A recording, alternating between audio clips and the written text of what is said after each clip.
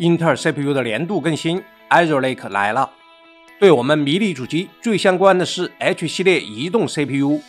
首台装置 Azure Lake 的迷你主机仍然是阿苏斯华硕 Lake。大家好，我是老白，今天给大家介绍装置最新第二代英特尔 Ultra 移动标压 CPU 225H 的高性能小主机阿苏斯华硕 Lake 15 Pro。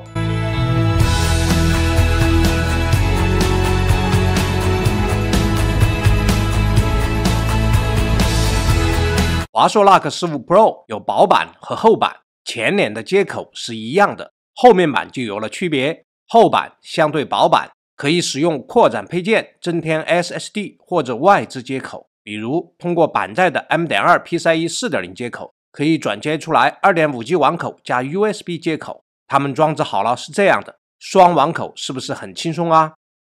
这次我们先发拿到的是薄板，它的优点是小巧精致。放置在哪儿都好看。面对这两台接口几乎一样的迷你主机，大家更喜欢薄版的小巧，还是更喜欢厚版的扩展能力呢？华硕 Lake 15 Pro 装置的是英特尔 Ultra 5 225H CPU，十四核十四线程，内置的英特尔 Arc 130T 核显，CSODIMM DDR5 内存，六千四百兆赫兹。M. 点二 PCIe 5.0和4.0插四的双 NVMe 接口，视频显示输出 2.5G 网卡加 WiFi 7。打开来看一下，主机和配件都在这儿呢。电源线、显示器背架和螺丝。说明书：这小电源是19伏6.32安，一共120瓦功率。小主机只有不到0.5升的体积。金属机身，塑料顶盖。机身接口：前面板 USB-C 3.2进二乘二接口，20G 的带宽；双 USB 3.2进二 A 口，10G 的带宽。电源开关键。后面板19伏电源接口、雷电四接口、HDMI 2.0接口、2.5G 网络接口。USB 3.2进二 A 口实际的带宽；USB 2.0接口、雷电四接口、HDMI 2.0接口，一共四组显示输出接口，双侧和后部都有通风口。后盖采取免工具拆装方式，轻轻提拉锁扣，后盖就打开了，是不是很容易啊？我们来看看内部都有哪些接口。顶盖上是两块 NVMe 的散热铁，双 DDR5 内存，最大六千四百兆赫兹，二二八零的 M.2 PCIe 五点零 NVMe 接口，二二四二的 M.2 PCIe 四点零 NVMe 接口，英特尔 B1 二零幺 WiFi 七无线网卡。感谢国内著名内存厂商宇瞻提供的 CSO DIM DDR5 六千四百兆赫兹笔记本内存条，给它装上，两条十六 G，一共三十二 G。爱国者两 TB PCIe 4.0插四的 NVMe SSD，开盖和安装配件全程都靠手，没用螺丝刀。BIOS 里内存显示的是 32G DDR5 六千四百兆赫兹。这里可以看到设置的是最强性能，而且是华硕特有的动态 PL1 和 PL4 支持。可以在风扇模式里选择性能释放，有静音、标准、性能三种模式。我们选择的是性能模式。如果我们在系统里安装了华硕管家软件，也可以在这里设置。稳定性是我们最关心的问题之一。我们打开 i.64 跑 FPU 单考的压力测试，CPU 功耗运行在六十三到六十二瓦之间，整机功耗大多时候在八十六瓦到八十三瓦之间，CPU 整体频率运行在平均三点四 G 赫兹。在单考的一小时零五分钟内，CPU 功耗一直保持六十二瓦左右。室温二十四度的情况下，CPU 温度最高上升到一百零一度，内存温度最高上升到四十八点五度，SSD 温度最高上升到四十三度，内存和 SSD 温度不高。我们首先使用华硕 Lake 15 Pro 主机的 Ultra 5 225H CPU 来转码，看看实际能效如何。最后结果是十分十一秒，共计六百一十一秒。首先，相比去年的 Ultra 5 125H。大幅提高啊！接近了最好的八八四五 HS，还超过了去年的 Ultra 七幺五五 H。CPU Z 多线程八千零一十九点八，单线程七百二十九点四，多线程称机超过了所有的幺三九零零 H、幺三七零零 H，还有八八四五 HS，也超过了 Ultra 七幺五五 H，进步挺大的。Geekbench 五多核一万二千九百九十二，单核两千零四十七，多核成绩超过了 Ultra 七幺五五 H 和所有的八八四五 HS。超过了 Ultra 五幺二五 H 两千分，也超过了 M 四 Mac Mini。Geekbench 六多核一万三千九百一十七，单核两千八百二十三，多核成绩仅仅低于华硕十四 Pro 加的 Ultra 九幺八五 H，高于所有的幺三九零零 H、幺三七零零 H、八八四五 HS，轻松超过上一代的幺五五 H 和幺二五 H。Cinebench 二二三多核一万六千七百零二，单核一千九百六十五，多核接近八八四五 HS，不如 Ultra 七幺五五 H 和最好的幺三九零零 H。Cinebench 二零二四多核九百五十一，单核一百二十四，多核远超幺二五 H，接近八八四五 HS。Passmark 多线程三万二千二百三十六，单线程四千五百五十九，多线程刚好超过了上一代的。Ultra 七幺五五 H 接近八八四五 HS。综合来看，目前这台 Ultra 五二二五 H 六十二瓦的性能发挥，已经远超上一代 Ultra 五幺二五 H，刚好超过 Ultra 七幺五五 H 一点点，接近了八八四五 HS 和幺三九零零 H。接着看娱乐大师，总分一百二十九万九千六百六十六，CPU 得分六十二万五千三百零一。接着玩游戏，地平线五幺零八零 P 中画质，不开抗锯齿，普通场景接近七十帧，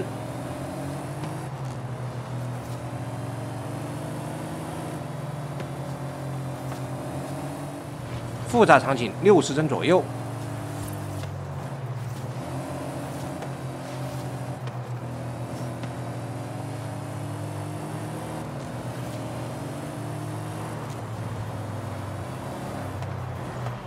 地平线四幺零八零 P 高画质，不开抗锯齿，全程六十多帧。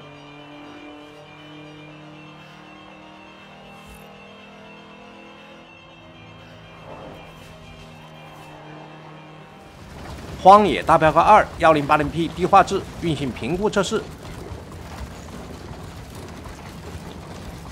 平均帧四十三帧。古墓丽影暗影幺零八零 P 高画质，运行性能测试。平均帧三十八帧，英雄联盟四 K 中画质，最后大团战一百二十帧左右。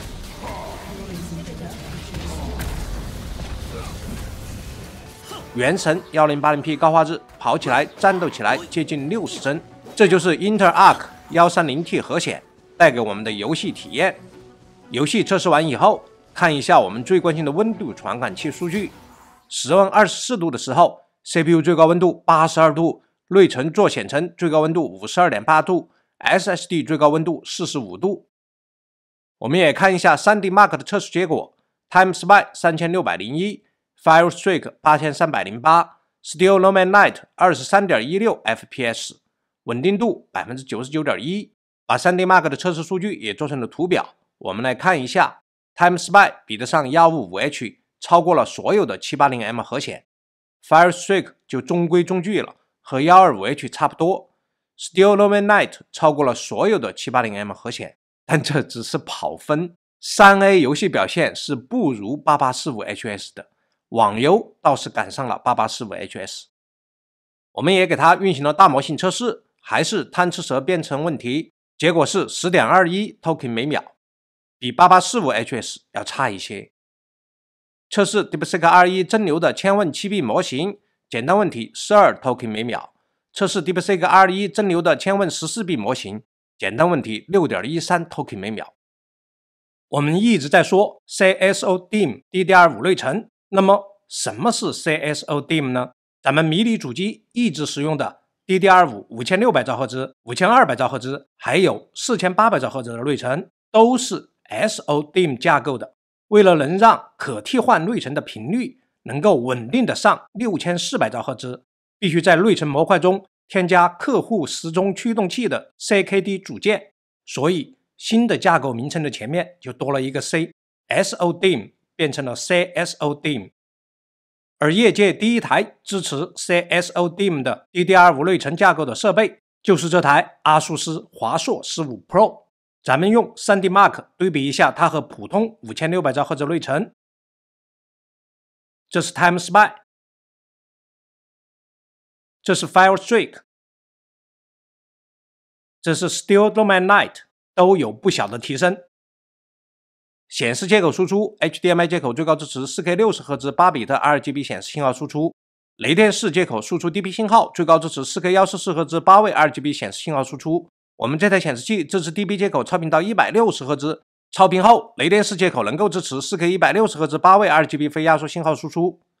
索尼 OLED 电视连接 HDMI 线缆，小主机能够输出 4K 60赫兹8位 RGB 信号。英特尔 Arc 130T 核显视频解码。最高能硬解本地 8K 60帧 AV1 视频，YouTube 8K 60帧 AV1 视频可以流畅播放。M.2 PCIe 4.0 NVMe 硬盘测试7000兆比每秒，达到了 PCIe 4.0 x 4的最好水平。安装了支持 PCIe 5.0 x 4的英瑞达 T700 SSD，接近12000兆比每秒。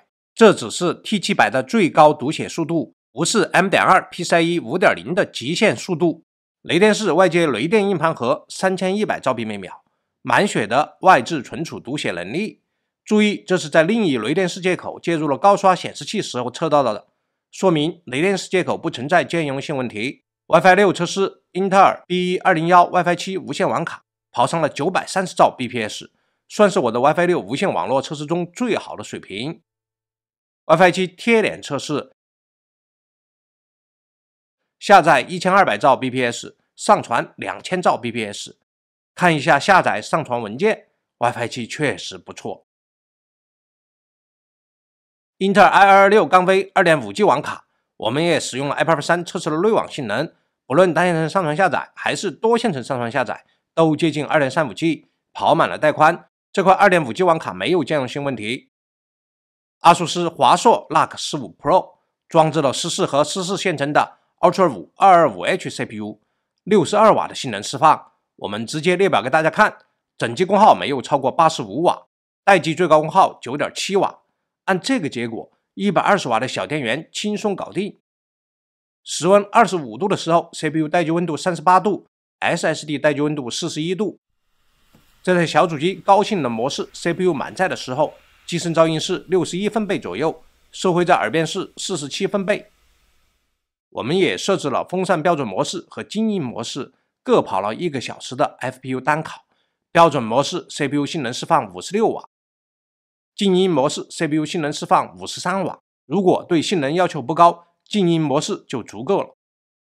华硕 Luck 十五 Pro 迷你电脑装置了十四核十四线程的 Ultra 五二二五 H CPU，六十二瓦的性能释放，性能表现超强，出乎我的意料。不仅远超上一代的幺二五 H，还超过了 Ultra 七幺五五 H，接近了幺三九零零 H 和 AMD Ryzen 七八八四五 HS，真不错。华硕这款 Luck 可以免工具拆卸底盖、安装配件，具有良好的高可维护性，比上一代更方便了。还有这做工可是一级棒啊，小巧精致漂亮，四显示接口非常好。